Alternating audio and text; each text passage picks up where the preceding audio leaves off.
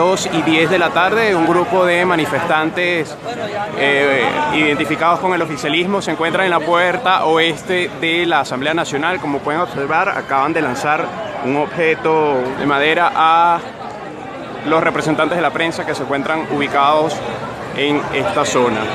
Parte de lo que se desarrolla, parte del ambiente que se genera aquí en las afueras del Palacio Federal Legislativo.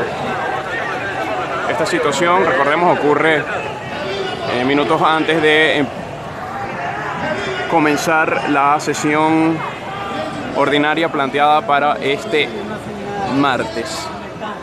Más detalles de lo que vaya ocurriendo en los alrededores del Palacio Federal Legislativo y en la sesión del día de hoy, pues estaremos llevándoselos a ustedes a través de caraotadigital.net.